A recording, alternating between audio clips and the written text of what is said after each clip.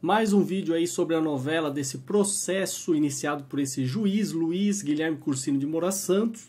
Né? Para quem acompanha meu canal sabe bem quem é, que me processou e quer tirar um vídeo meu.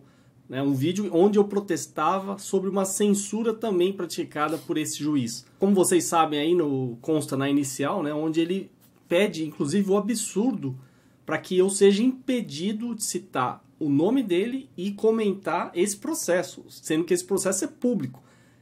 Você, Luiz Guilherme, você deveria ter vergonha, porque qualquer juiz que conheça o mínimo de direito sabe que esse pedido aí é completamente absurdo.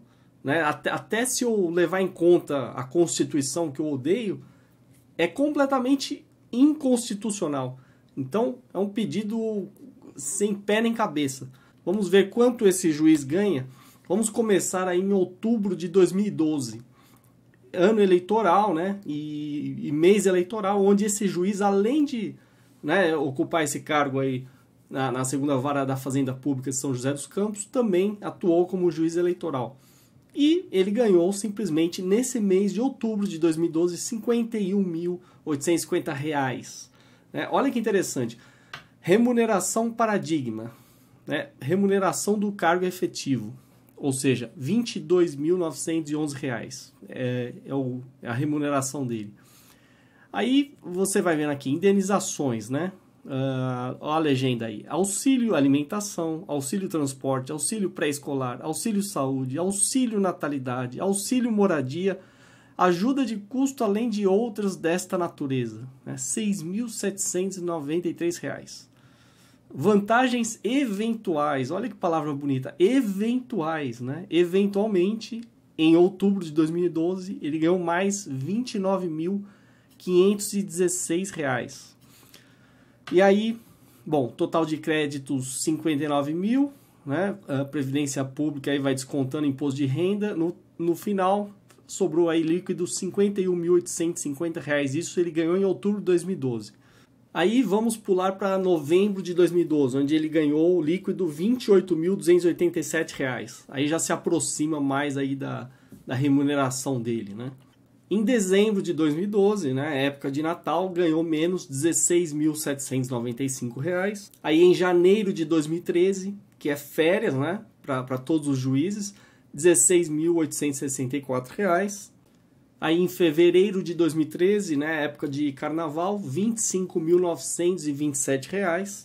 Em março de 2013, 26.130 reais. Aí em abril eu tive dificuldade de achar, né? Inclusive eu vou fazer uma crítica aqui dura ao Tribunal de Justiça de São Paulo, que é simplesmente um lixo, né? Para você achar essas informações, você tem que passar por, um, por vários links que não são nada intuitivos para uma pessoa que não é da área, né? Transparência depois. Resolução CNJ 102 de 2009. Você acha que o cidadão comum vai, vai ter obrigação de, de saber né, disso? Aí remuneração em diárias pagas, blá blá blá. Né? E, e eles ainda, para piorar, né, por isso que eu não estou mostrando de abril, eles fornecem um arquivo PDF é, em alguns meses com apenas a imagem da, da, tabela, não é o texto, ou seja, você não pode fazer buscas. Né? Então, isso até parece de propósito que eles fazem de propósito, que é justamente para não revelar quanto a pessoa ganha, para é, ter dificuldade. Aí você fala, ah, mas não tem uma coluna da matrícula no, do juiz, porque é ordenado pela matrícula. Não, eles tiraram essa coluna. Ou seja, os nomes ficam todos aleatórios. Não, não é nem em ordem alfabética. Então, ou seja, como é que você faz? Né? Se você tentar usar um, um OCR, não vai conseguir grandes resultados, porque a tabela atrapalha a detecção da, das letras. Né? E o, o, TJ de São Paulo não tem nem sequer acompanhamento por e-mail, né? É um lixo completo, a gente custa caro e, e eles ainda acham que estão prestando um serviço. Ah, detalhe, essa, essa história de ter que clicar no link resolução CNJ 102/2009, né, dá a entender o seguinte, que é um fato. Só depois que o CNJ é, mandou, né, esses dados serem divulgados, é que eles fizeram, porque senão eles não iam fazer isso, já, senão já teriam feito há muito tempo. Né? Eles, não, eles detestam revelar o quanto eles ganham. Aí em maio de 2013, né, aumenta bastante aí o, a remuneração dele, R$ 64.659. Por quê, né? De novo, né, aqueles ganhos eventuais, né, 47.765.